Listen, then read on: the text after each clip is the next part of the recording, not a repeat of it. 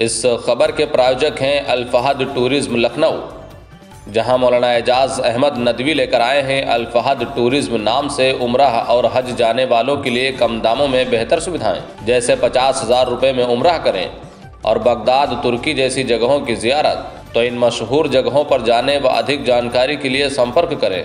हमारा संपर्क सूत्र है nine five one nine zero four double eight zero five और हमारा दूसरा संपर्क सूत्र है double eight four zero five two one zero four zero साथ ही हमारा पता है हुसैनगंज रिजेंसी टावर, लखनऊ।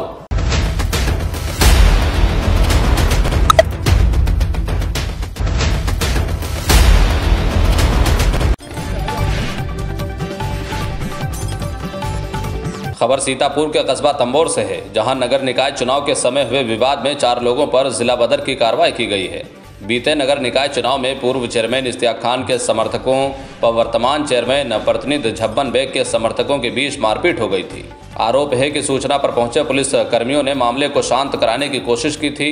इस दौरान किसी ने पथराव कर दिया था, जिससे एक सिपाही के सिर में चोट लग गई थी। वहीं इस घटना के बाद थाना तंबोर में पूर्व चेयरमैन इश्तियाक खान व उनके बड़े बेटे पूर्व जिला पंचायत सदस्य दानिश कमाल खान समेत करीब दो दर्जन लोगों पर मुकदमा दर्ज किया गया था। आपराधिक इतिहास को लेकर पूर्व चेयरमैन इश्तियाक खान व उनके बड़े बेटे पूर्व जिला पंचायत सदस्य दानिश कमाल खान, शहबाज खान के साथ रिहान पर गुंडा एक्ट लगाया गया था।